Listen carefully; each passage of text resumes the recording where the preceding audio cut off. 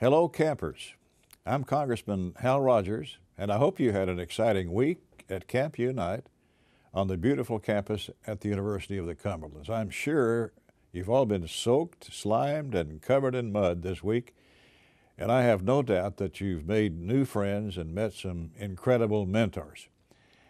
As you know by now, Camp Unite is a very special place, and you've been surrounded by people who care about you and the decisions you make.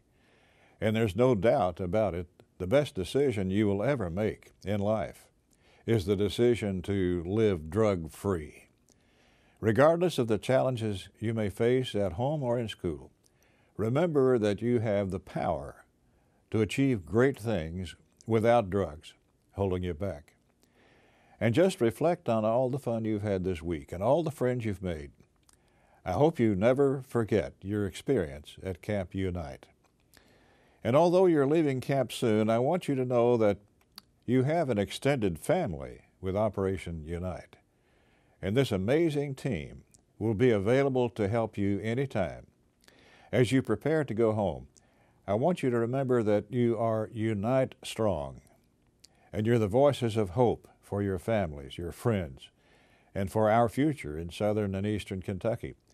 Be a leader. Be a positive example for your friends and be determined to overcome the challenges ahead. The Unite team and I are cheering you every step of the way.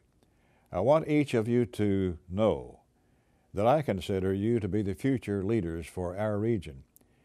And I look forward to seeing the great things you accomplish in the years ahead. So be bold, be confident, and be unite strong. I believe in you.